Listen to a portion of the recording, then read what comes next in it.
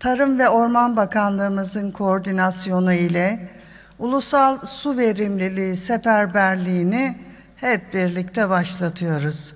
Cumhurbaşkanı Recep Tayyip Erdoğan'ın eşi Emine Erdoğan'ın bu sözlerle başlattığı su verimliliği seferberliği kapsamında çalışmalar sürüyor. Seferberlik ruhuyla geleceğimize hep birlikte sahip çıkalım.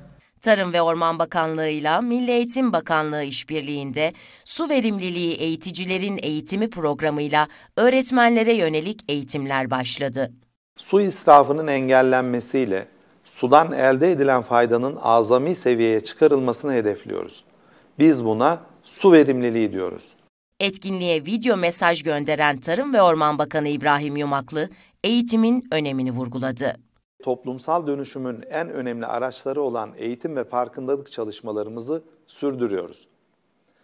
Özellikle çocuklarımızın eğitimi toplumun geleceği açısından anahtar niteliğinde. Tema Vakfı, İzcilik Federasyonu gibi sivil toplum kuruluşlarımızda işbirliği içerisinde sizlerin katkılarıyla öğrencilerimize ulaşacağız. Eğitim programına katılan Su Yönetimi Genel Müdürü Afire Sever de suyun verimli kullanımına yönelik kanunla ilgili çalışmaların sürdüğünü söyledi. Sayın Cumhurbaşkanım yol haritamızı aslında dün çizdi. Su kanunu ve taşkın kanunu da hazırlanıyor dedi. Ee, ve biz bu konuda hakikaten su kanunumuzda, taşkın kanunumuzda Allah'ın izniyle ülkemizin hizmetine sunulacak şekilde altyapısını oluşturmaya çalışıyoruz. Sayın Bakanımın liderliğinde. Eğitimler ve sonrasında yapılacak çalışmalardan verimli sonuçlar bekleniyor.